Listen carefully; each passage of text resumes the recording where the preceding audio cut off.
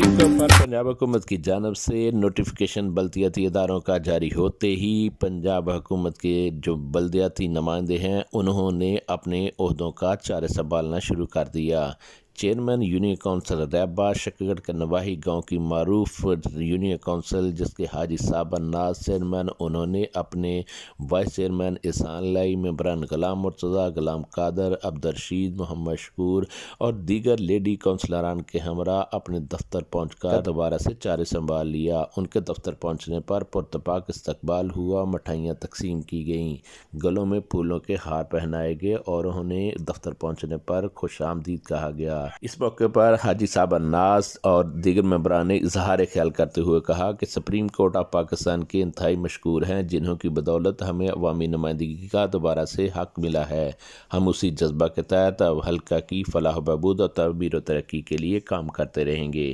camera مین ریاض علی کے ساتھ محمد شفیق، voice of شکگارڈ